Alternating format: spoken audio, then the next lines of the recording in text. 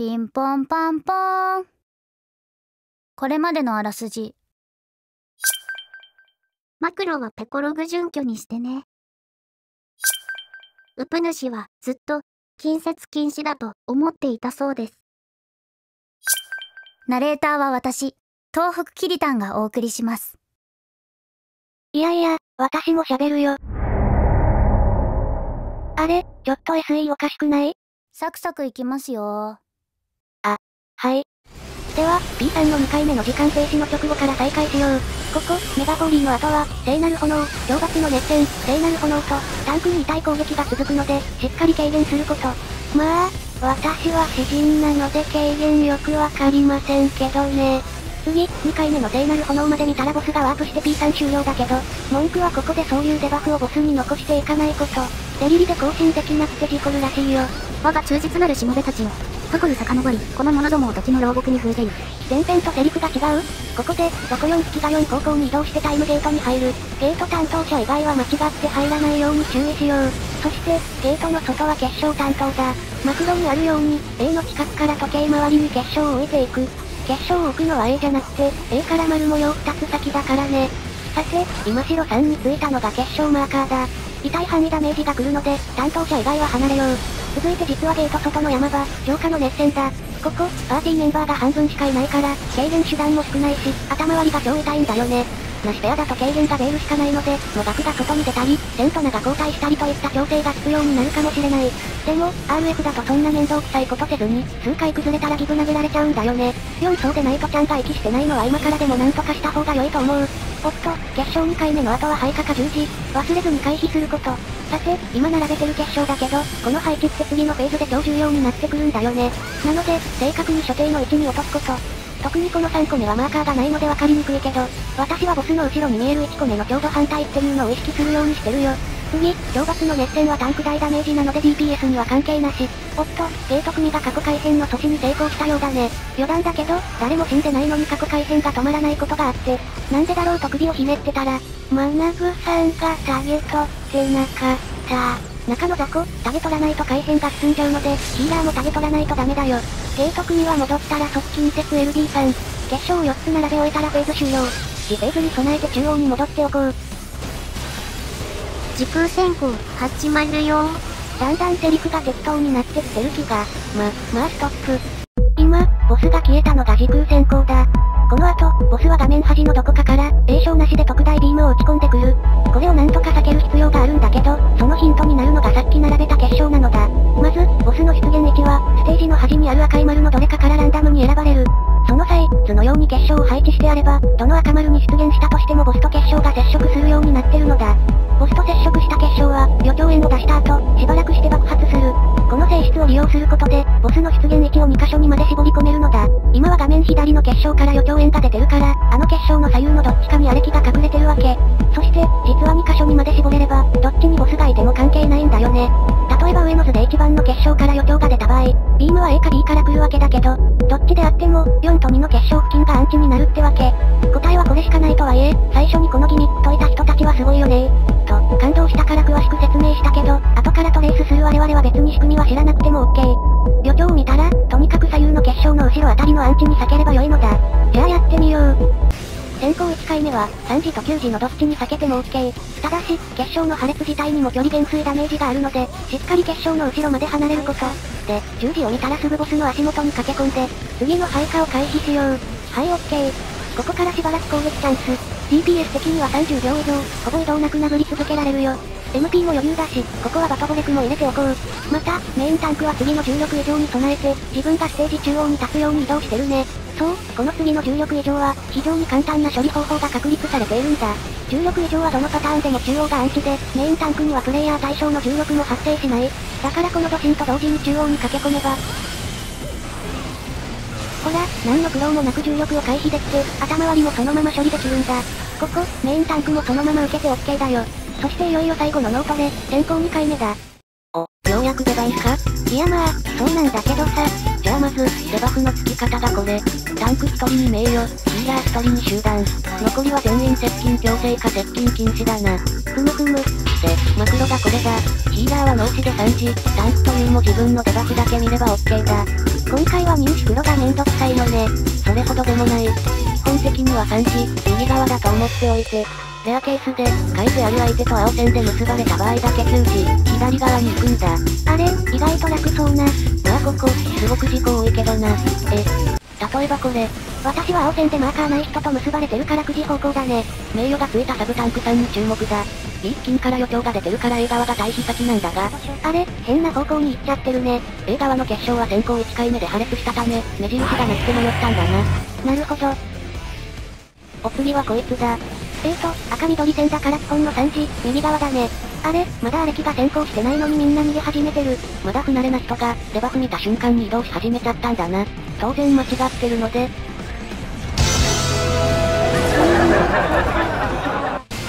ま、まあ実際にやってみよう。中央で頭割りを受けたら、もう先行2回目に備えてある程度3回しておこう。ここ、固まってたり、荒れ木に埋まってると DPS の相棒がわからなくて事故の元だよ。はい、赤緑線、ほんの3時だ。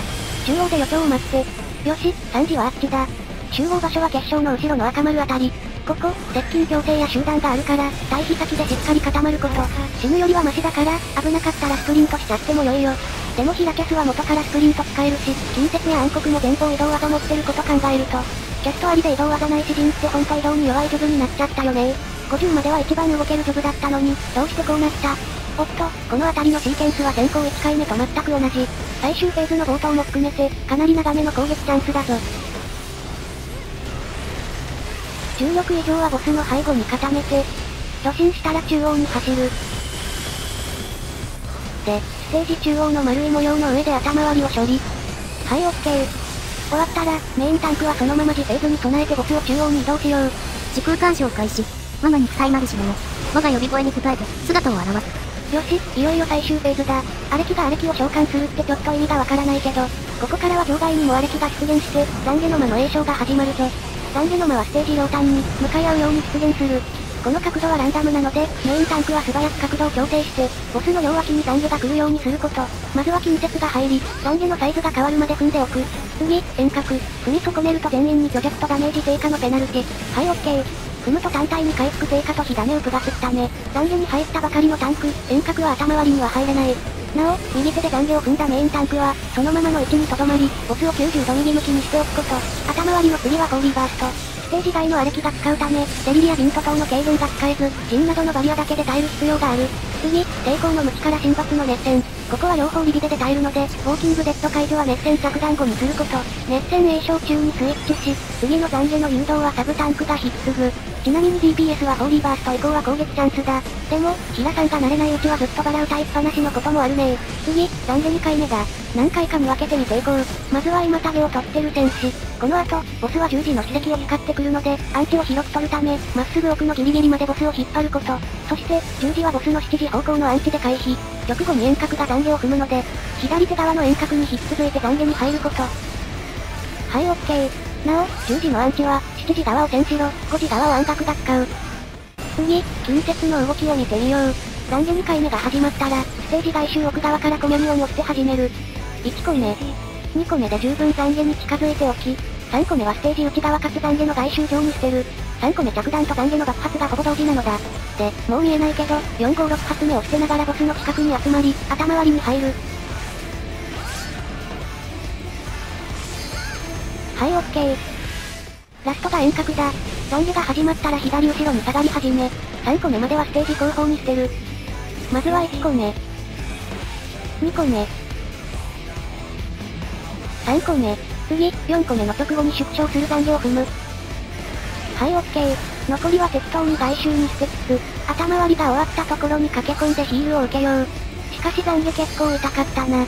これ、デリリアビントが切れてるせいだって書き込み見たけど、どうなんだろうね。まあどっちにしろ、ここでケアルガから漏れて死んだら自己責任だよ。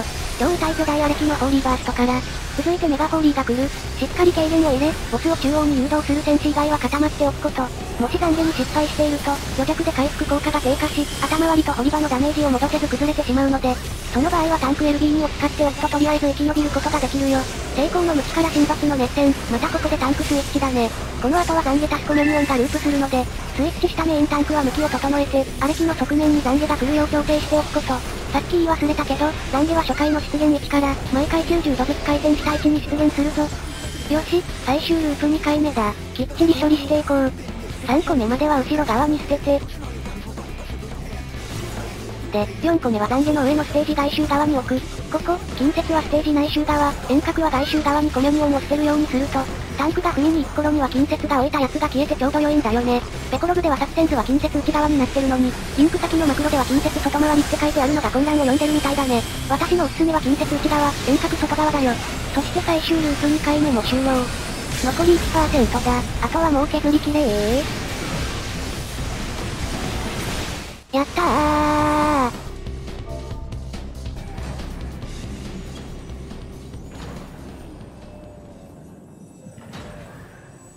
バイバーイ。